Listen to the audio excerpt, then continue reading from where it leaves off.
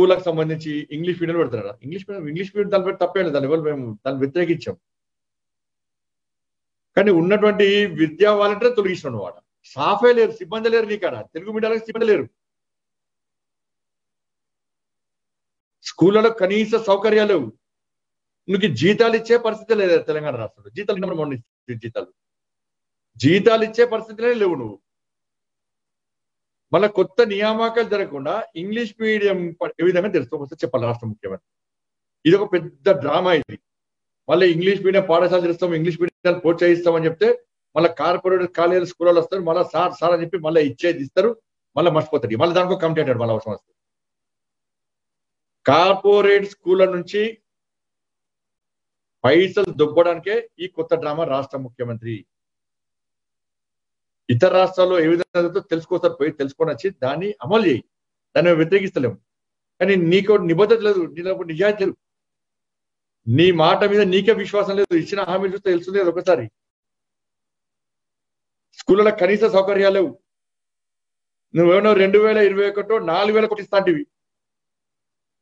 మనకు పోయిన అంతకుముందు రెండు వేల కోట్లు ఇచ్చినాంటివి. ఇచ్చినాడు ఆల్రెడీ. ఇప్పుడు మొత్తము ఏడు వేల మూడు వందల యాభై కోట్లు అంటివి.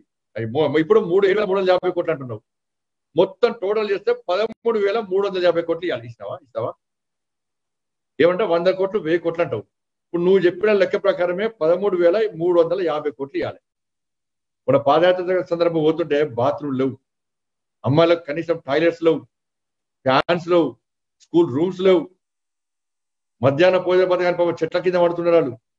పురుగులు పడుతున్నాయి ఆకులు పడుతున్నాయి కాయలు పడుతున్నాయి అన్ని పడుతున్నాయి అలా ఒక్కసారనే స్కూళ్ళను సందర్శించినటువంటి పాపన వేనావు ఎప్పుడైనా ఒక్కసారి.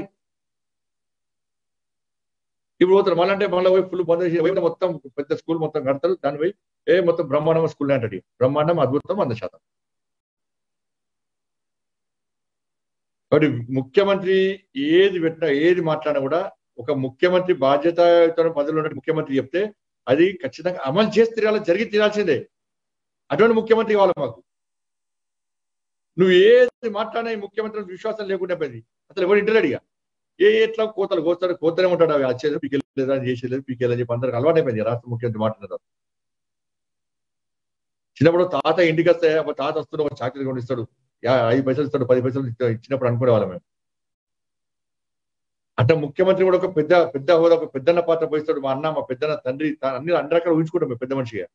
ఆయన ఒక మాట ఇస్తే క్యాబినెట్ మీటింగ్ ఒక విశ్వాసం నమ్మకం ఏర్పడుతుంది ప్రజల కూడా ఒక అసెంబ్లీ సమావేశం తర్వాత ఒక విశ్వాసం నమ్మకం ఏర్పడుతుంది. ఎస్ ఏదో మేలు జరగబోతున్నదని. ఈ ముఖ్యమంత్రి ఏం చేసినా కూడా ఏం ఏం చేయడం తెలుసు.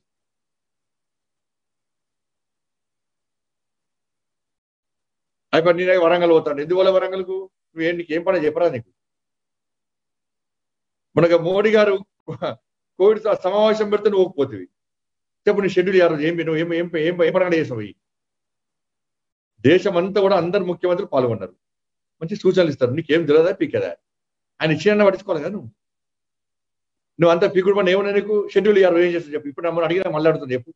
మోడీ గారు సమావేశం ముఖ్యమంత్రులు సమావేశం పెట్టినప్పుడు నువ్వు నువ్వు నువ్వు చేసిన ఘనకార్యం ఏంటారు చెప్పరాదు. నువ్వు ఏం చేసావు చెప్పరా నీకు అంత బిజీ షెడ్యూల్ ఏం చెప్పరాదు? ఈ మధ్య ఇంకో ముఖ్యమైన నిర్ణయం తీసుకుంది ప్రభుత్వం. ప్రభుత్వ రంగంలో ఇంగ్లీష్ మీడియంలో పిల్లలకు చదువు చెప్పాలని. మన ఊరు మనబడి మన ఊరు మనబడి అనేది ఒక అద్భుతమైన కార్యక్రమం. లోకం మొత్తం హర్షిస్తూ ఉంది. పేద ప్రజలందరూ కూడా ముఖ్యమంత్రి గారికి పాలాభిషేకం చేస్తున్నారు. అరే మా స్కూల్లో మా పిల్లలకు ఇంగ్లీష్ మీడియంలో చదువు చెప్తారు. రెండు వేల సారీ ఏడు వేల రెండు వందల ఎనభై కోట్ల రూపాయలతోని కార్పొరేట్ స్కూళ్ళలాగా ప్రభుత్వ స్కూళ్ళను తీర్చిదిద్దుతాం. స్కూళ్ళల్లో ఇంగ్లీష్ మీడియంలో పిల్లలకు పోటీ ప్రపంచంతో తట్టుకునే విధంగా చదువు చెప్తామంటే హర్షం వ్యక్తం చేయాలి కానీ వీళ్ళు విమర్శలు చేస్తున్నారు. నాకు అర్థం కాలే. ఎందుకు విమర్శిస్తున్నారు? అయ్యా బండి సంజయ్ గారు ఒక దిక్కు విమర్శిస్తుండు. కాంగ్రెస్ వాళ్ళు రేవంత్ రెడ్డి గారు ఒక దిక్కు విమర్శిస్తున్నాడు. ఇంకా చాలామంది బీజేపీ నాయకులు ఇంగ్లీష్ మీడియం అని కేసీఆర్ గారు అనగానే ఆగమాగమవుతున్నారు మీకెందుకు అంత ఆగమవుతుంది నాకు అర్థం కాలే. మీ పిల్లలు మాత్రం ఇంగ్లీష్ మీడియంలో చదువుకోవాలి కానీ మా ఎస్సీ ఎస్టీ బీసీలు మా పేద ప్రజలు మా గ్రామీణ ప్రాంతాల్లో ఉండే ప్రజలు మా కార్మికుల పిల్లలు మా రైతుల పిల్లలు ఇంగ్లీష్ మీడియంలో చదువుకోవద్దా? గౌరవ ముఖ్యమంత్రి కేసీఆర్ గారు వచ్చే విద్యా సంవత్సరం నుంచి రాష్ట్రంలో ఇంగ్లీష్ మీడియంలో పిల్లలకు చదువులు చెప్తామంటే బీజేపీ నాయకులు మొత్తం ఎగిరెగిరి పడుతున్నారు ఆగమాగమైపోతున్నారు. ఫ్రస్ట్రేషన్కి లోనవుతున్నారు నాకు అర్థమైంది. ఎక్కడ ఈ ప్రభుత్వానికి మంచి పేరు వస్తుందో? ఎక్కడ కేసీఆర్ గారికి మంచి పేరు వస్తుందో? అరే ఇంత మంచి పని కేసీఆర్ గారు చేయబట్టే అని చెప్పి వీళ్ళు ఆగమాగం అయిపోతున్నారు అంటే నేను అడుగుతున్నా ఎందుకు? మీకు ఎందుకు ఇబ్బంది ఇంగ్లీష్ మీడియంలో చదివిస్తామంటే ఒక్క ఒక్క బీజేపీ నాయకుడు ఇది మంచి పని చేస్తున్నారు.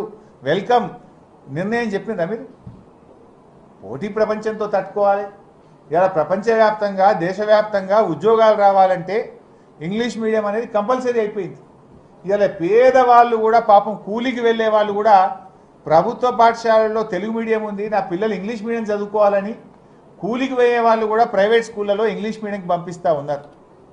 అటువంటి పేద ప్రజలకు ప్రభుత్వ పాఠశాలల్లో ఉచితంగా ఇంగ్లీష్ మీడియంలో చదువు చెప్పే ఒక విప్లవాత్మకమైన నిర్ణయాన్ని కేసీఆర్ గారు తీసుకుంటే బీజేపీ నాయకులు ఏదో ఇబ్బంది పడతా ఉన్నారు.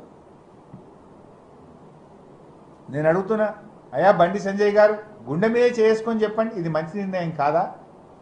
ఈ నిర్ణయాన్ని ప్రజలు హర్షిస్తలేరా?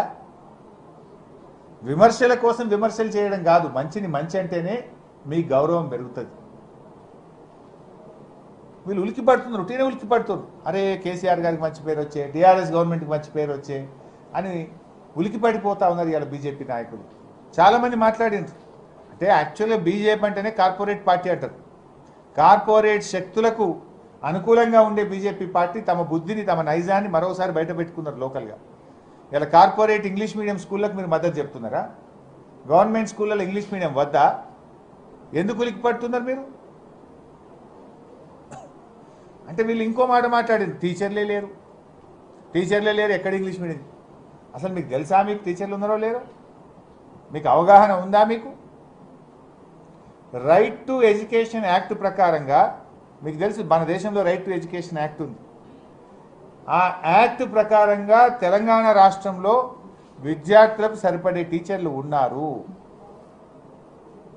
ప్రాథమిక విద్యలో రైట్ టు ఎడ్యుకేషన్ యాక్ట్ ప్రకారంగా ప్రాథమిక విద్యలో ముప్పై మంది పిల్లలకు ఒక టీచర్ ఉండాలనే నిబంధన ఉంది. తెలంగాణ రాష్ట్రంలో ఇరవై మంది పిల్లలకు ఒక టీచర్ ఉన్నాడు. అదేవిధంగా ప్రాథమికోన్నత విద్య. ముప్పై ఐదు మంది పిల్లలకు ఒక టీచర్ ఉండాలనే నిబంధన ఉన్నది. తెలంగాణ రాష్ట్రంలో పదహారు మందికి ఒక టీచర్ ఉన్నాడు. ఉన్నత విద్య. రైట్ టు ఎడ్యుకేషన్ యాక్ట్ ప్రకారంగా నలభై మందికి ఒక టీచర్ ఉండాలని ఉంటే తెలంగాణ రాష్ట్రంలో ఇరవై ఒక్క మందికి ఒక టీచర్ ఉన్నారు. ఇవి మేం చెప్తున్నాయి కాదు కేంద్ర ప్రభుత్వ గణాంకాలు చెప్తున్న వివరాలు చెప్తున్నాయి. ఇక టీచర్లు లేరని బండి సంజయ్ గారు మాట్లాడతారు. అంటే ఏం అవగాహనతో మాట్లాడుతున్నారు మీరు? ఇంగ్లీష్ మీడియం చేస్తామంటే ఆగమైపోతారు. టీచర్లు లేరని ఏదో గీతలు పెట్టే ప్రయత్నం చేస్తారు మీరు. వాస్తవాలు తెలుసుకోకుండా మీరు మాట్లాడుతున్నారు. వాస్తవానికి బీజేపీ పరిపాలించే ఏ రాష్ట్రంలో కూడా తెలంగాణ రాష్ట్రంలో ఉన్నటువంటి విధంగా టీచర్లు లేరు. రైట్ టు ఎడ్యుకేషన్ యాక్ట్ ప్రకారంగా గుజరాత్లో కానీ బీహార్లో కానీ మధ్యప్రదేశ్లో కానీ ఉత్తరప్రదేశ్లో కానీ ఎక్కడ కూడా బీజేపీ పాలిత రాష్ట్రంలో ఈ రకంగా టీచర్లు లేరు. తెలంగాణ రాష్ట్రంలో ఉన్నారు. విషయాలు తెలుసుకొని మాట్లాడండి మీరు. ఒక సాధారణ విద్యలోనే కాదు. మెడికల్ ఎడ్యుకేషన్లో అగ్రికల్చర్ ఎడ్యుకేషన్లో వెటనరీ ఎడ్యుకేషన్లో ఫిషరీస్ ఎడ్యుకేషన్లో ఫారెస్ట్ ఎడ్యుకేషన్లో కూడా చాలా మార్పులు తీసుకొచ్చింది టీఆర్ఎస్ ప్రభుత్వం. హార్టికల్చర్ యూనివర్సిటీ తెచ్చినాము. ఈ మధ్యనే ఫారెస్ట్ యూనివర్సిటీ క్యాబినెట్ ఆమోదించింది. మహిళా యూనివర్సిటీకి క్యాబినెట్ ఆమోదించింది. ఇవాళ మెడికల్ ఎడ్యుకేషన్లో సంగారెడ్డిలో మెడికల్ కాలేజ్ వచ్చింది. రాష్ట్రంలో రాష్ట్రం ఏర్పడిన నాడు నాలుగు డిగ్రీ మహిళ నాలుగు వైద్య కళాశాలలు ఉంటే ఇలా పదిహేడు వైద్య కళాశాలలు తెచ్చినాం. విప్లవాత్మకంగా డెబ్బై ఏళ్ళలో తెలంగాణ రాష్ట్రంలో కేవలం నాలుగు ప్రభుత్వ మెడికల్ కాలేజీలు ఉంటే ఇలా పదిహేడు ప్రభుత్వ మెడికల్ కాలేజీలు తెచ్చిన ఘనత ముఖ్యమంత్రి కేసీఆర్ గారిది టీఆర్ఎస్ ప్రభుత్వానికి తెలంగాణ రాష్ట్రం వచ్చినాక ఒక లక్ష ముప్పై రెండు వేల ఎనిమిది వందల తొంభై తొమ్మిది మందికి ఉద్యోగాలు ఇచ్చినాం. వీళ్ళంటారు టీచర్ నియామకాలే చేయలేదంటారు. టీఆర్టీ ద్వారా ఎనిమిది వేల ఏడు వందల తొంభై రెండు టీచర్ ఉద్యోగాలు ఇచ్చినాం టీఆర్టీ ద్వారా. గురుకులాల్లో పదకొండు వేల ఐదు వందల టీచర్లను నింపడం జరిగింది. టీఆర్టీ మరియు గురుకులాలు కలిపి ఇరవై వేల మంది టీచర్లకు తెలంగాణ రాష్ట్రంలో కొత్తగా ఉద్యోగాలు ఇచ్చాం. ఇక మళ్ళీ మీరు మాట్లాడతారు? అసలు మీకు తెలిస్తే కదా మాట్లాడి టీచర్ ఉద్యోగం ఒకటని ఇచ్చారు ఇరవై వేల మందికి ఇస్తే ఒకటని ఇచ్చింది అని మాట్లాడతారు మీరు. సో వాస్తవాలు వాస్తవాలు తెలుసుకొని మీరు మాట్లాడాలి. ఏది పడితే అది మాట్లాడితే మీరే అబాస్పాలు అవుతారు ఇవాళ రెసిడెన్షియల్ స్కూళ్ళు తెలంగాణ రాష్ట్రం ఏర్పడ్డ నాడు మొత్తం రాష్ట్రంలో ఉన్న రెసిడెన్షియల్ స్కూళ్ళు రెండు వందల తొంభై ఆరు only two hundred and ninety six. ఈరోజు రెసిడెన్షియల్ స్కూళ్ళ సంఖ్య తొమ్మిది వందల పద్నాలుగు మూడు అంతలు పెరిగింది. రెండు వందల తొంభై ఆరు రెసిడెన్షియల్ స్కూల్ రాష్ట్రం ఏర్పడినాడు ఉంటే ఇవాళ తొమ్మిది వందల పద్నాలుగు రెసిడెన్షియల్ స్కూళ్ళు ఉన్నాయి. రాష్ట్రం ఏర్పడినాడు రెసిడెన్షియల్ స్కూళ్ళలో ఒక లక్ష నలభై ఐదు వేల రెండు వందల యాభై నాలుగు మంది పిల్లలు చదువుకుంటే ఈరోజు నాలుగు లక్షల ముప్పై ఏడు వేల ఆరు వందల ఎనభై ఎనిమిది మంది పిల్లలు చదువుతున్నారు. త్రీ టైమ్స్ ఆనాడు లక్షా నలభై ఐదు వేల రెండు వందల యాభై నాలుగు మంది పిల్లలకు రెసిడెన్షియల్ స్కూళ్ళలో చదువు చెప్తే ఈరోజు నాలుగు లక్షల ముప్పై ఏడు వేల ఆరు వందల ఎనభై ఎనిమిది మంది పిల్లలకు మంచి క్వాలిటీ ఎడ్యుకేషన్ను ఎస్సీ ఎస్టీ బీసీ మైనారిటీ రాష్ట్ర గురుకుల పాఠశాలల్లో ఇలా క్వాలిటీ ఎడ్యుకేషన్ను ఉన్నతమైనటువంటి విద్యను పేద ప్రజలకు ఇవాళ రాష్ట్ర ప్రభుత్వం అందిస్తూ ఉంది.